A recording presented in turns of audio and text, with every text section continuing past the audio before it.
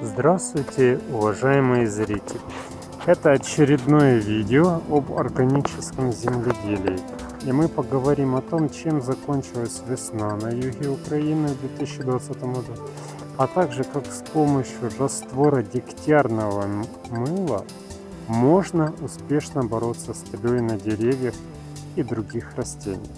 Как вы помните из прошлого ролика, начало и середина весны были холодными и засушливыми.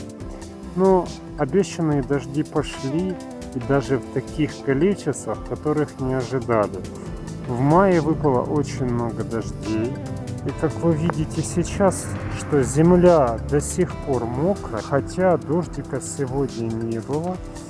И было солнышко, и она успела подсохнуть. И второй вопрос, который бы хотелось затронуть, это борьба с тлей. В этом году ее меньше, чем в прошлом. Об этом можно узнать из тоже очередного моего ролика. Но, тем не менее, она присутствует. Ну и как я говорил, вы, вы наверное, заметили, что больше всего она поразит деревья молодые. Он видно по заворачивающейся листу. Вот здесь, в том числе. Вот видно здесь. Как мы боролись в прошлом году, то в этом месте, где возле штамба, можно наклеить клейкую ленту от мух. Знаете, такая продают. И тогда муравьи не будут лазить по стволу, как они лазят здесь сейчас. Мы будем бороться с ним два этапа. Э, первый этап это будет проводиться пинцирование, то есть будем обрезать те ветви, которые поражены тлей, но которые по сути на деревьях не нужны. Ну, к примеру, возьмем эта веточка. Вы здесь видите, она поражена тлей. И она растет с самого низа. Она будет постоянно в тени, поэтому она здесь не нужна.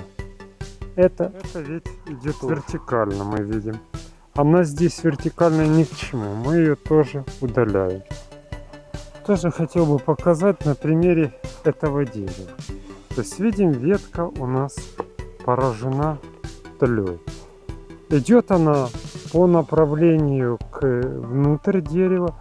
Она здесь по большому счету не нужна. Убираем. Это убираем тоже. Смотрим здесь. Тоже идет веточка. Вот эта. Поражена тлей он по закрученной листочке идет слишком низкий наклон и она находится в тени. Ее тоже убираем. Здесь низкий угол отхождения этой. Поэтому ее нету смысла держать поскольку она будет во-первых мешать проходу вокруг дерева и во-вторых э, обломается потому что не будет упора нету 45 градусов ну и таким образом мы берем и обрезаем все ветви, которые нам не нужны, чтобы на них не расходовать раствор. После того, как удалили ветви, пораженные тлей, готовим раствор дегтярного мыла. Он готовится очень просто. Кусок твердого мыла можно натереть на любой крупной терке. На данный момент я сделала пол куска дегтярного мыла как вы видите здесь. И сейчас мы его зальем горячей водой. Он должен постоять.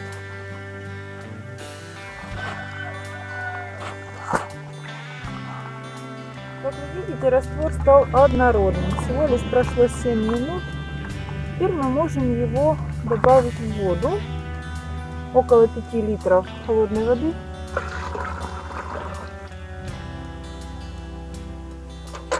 Размешиваем дополнительно. Примерно температура должна быть около 40 градусов. Можно добавить еще. Почему? Мыло снова начнет застывать.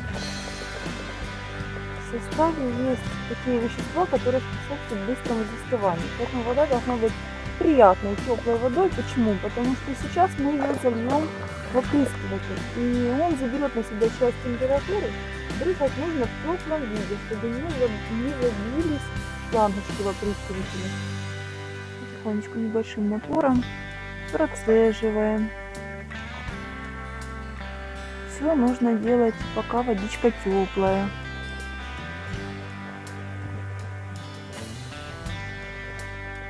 Если раствор вот так вот в ведре, он остынет, он начнет загустать. Поэтому можно добавлять горячей воды. Концентрация мыла не должна быть сильно густой. Почему? Потому что хватает довольно небольшой концентрации. В прошлом году мы одним куском мыла обрызгали несколько раз весь сад. То есть мы разбавляли раствор, и у нас был довольно неплохой урожай. Все плодовые деревья плодоносят. Сейчас будем производить опрыскивание. Как вы видите, здесь вчера проходила опрыскивание. На некоторых листьях, видимо, уже тля умерла или нет. Поэтому сегодня мы будем стараться попадать на те листья, на которые вчера не попал раствор. Они, конечно, закручены, это довольно сложно, но возможно. Начинаем опрыскивание. Молодая черешенка очень пострадала от тли. Я любит почему-то черешню.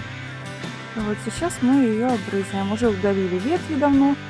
И сейчас на оставшиеся здоровые ветви мы наносим в теплом виде раствор.